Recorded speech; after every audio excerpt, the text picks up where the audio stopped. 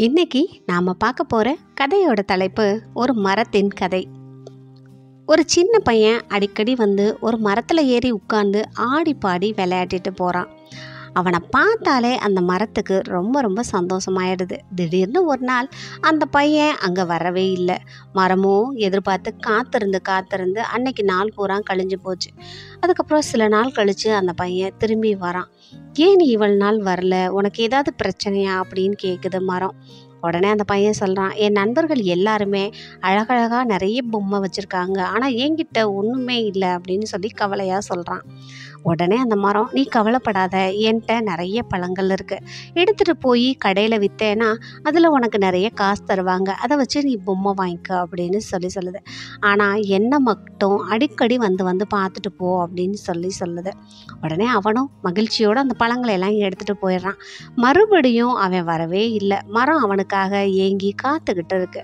பல வருடம் கழித்து அந்த பையன் ஒரு நாள் தன்னோட மரத்தை பார்க்க வரான் உடனே அந்த மரத்துக்கு அவ்வளோ சந்தோஷம். ஆனால் அவனோட மனசில் முகத்தில் கவலையாக இருக்கான்.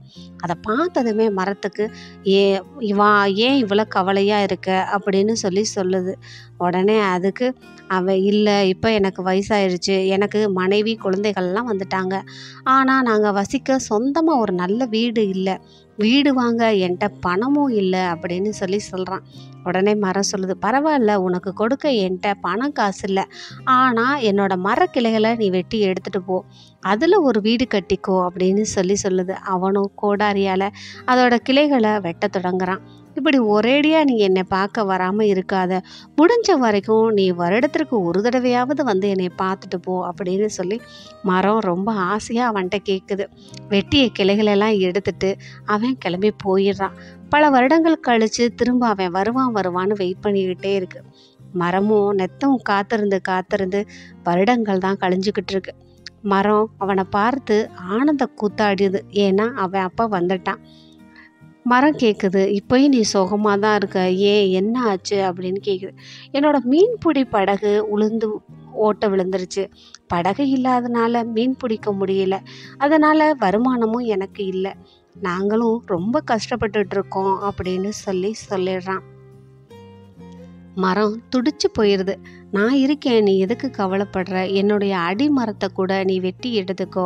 இதை வச்சு நீ பெரிய படகு வாங்கி அதில் நீ சந்தோஷமாக இரு அப்படின்னு சொல்லி சொல்லுது. அவனும் அந்த அடிமரத்தை வெட்டுற போது ஆனால் எப்பயாவது ஒரு தடவையாவது நீ வந்து என்னை பாரு அப்படின்னு சொல்லி அந்த மரம் அவன்கிட்ட கேட்குது ஆனால் திரும்ப அடிமரத்தை வெட்டி எடுத்துகிட்டு போனவன் வரவே இல்லை. மரத்துக்கு நம்பிக்கை மெல்ல மெல்ல குறைய ஆரம்பிக்குது. இனிமேல் அவன் வரவே மாட்டான் போல இருக்கு அப்படின்னு சொல்லிட்டு. ஆனால் ஒரு கட்டத்தில் அவன் அந்த மரத்தை பார்க்க வரான் ஆனால் அவனுக்கு தலையெல்லாம் நரைச்சி கூன் விழுந்து மிகவும் வயசான ஒரு தோற்றத்தில் அவன் வர்றான். அவனை பார்த்ததுமே மரத்துக்கு அழுகையே வந்துடுச்சு. இப்போ உனக்கு கொடுக்க என்கிட்ட பழங்களும் இல்லை கிளைகளும் இல்லை அடிமரம் கூட இல்லை உனக்கு கொடுக்க என்கிட்ட ஒன்றுமே இல்லையே அப்படின்னு சொல்லி ரொம்ப வருத்தப்படுது. ஆனால் அவன் சொல்கிறான் நீ கொடுத்தாலும் நீ பழங்கள் கொடுத்தாலும் அதை என்னால் கடிக்க முடியாது. நீ வீடு கட்ட படகு கொடுத்தாலும் அதை வீடு கட்டுற சக்தி என்கிட்ட இல்லை. இப்போ எனக்கு தேவை ஓய்வு மட்டும்தான் அப்படின்னு சொல்லி அவன் சொல்கிறான் அப்படியா இதோ தரையில் இருக்க என்னோட வேர்களில் நீ படுத்துக்கோ அப்படின்னு சொல்லுது. அவனும் அந்த வேர்களில் தலையை வச்சு படுத்து தூங்குறான்.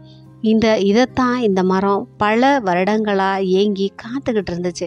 இப்போ அந்த மரத்தோட ஏக்கமும் நிறைவேறிடுச்சு. அந்த மரம் ரொம்ப ஆனந்தமாக கண்ணீர் விட ஆரம்பிக்குது. இது ஒரு மரத்தோட கதையே இல்லைங்க. நம்ம பெற்றோர்களுடைய கதை தான் இந்த சிறுவனை போல தான் நாமும் சின்ன வயசில் தாய் தந்தையோட அன்பாக ஆதரவாக விளையாட ஆரம்பிக்கிறோம். பெரியவன் ஆனதும் தமக்குன்னு ஒரு குடும்பம் இருக்குது குழந்தைங்க இருக்குது அப்படின்னு சொல்லி ஒதுங்க ஆரம்பிச்சிடுறோம். அதுக்கப்புறம் ஏதாவது தேவை பிரச்சனை அப்படின்னு இருந்தால் மட்டும் அவங்கள நம்ம தேடி போகிறோம் நம்மகிட்ட இருக்கிற எல்லாத்தையுமே அவங்க நமக்காக கொடுத்துட்றாங்க. ஆனால் அவங்கள நம்ம எப்பயுமே புரிஞ்சுக்கிறதே இல்லை. நம்மால் அவங்களுக்கு எதுவும் கொடுக்க முடியாட்டுனா கூட நம்முடைய பாசம் அன்பு நேரம் இதை நாம் அவங்களுக்கு கண்டிப்பாக கொடுக்கறத தான் அவங்க முழுமையாக விரும்புவாங்க.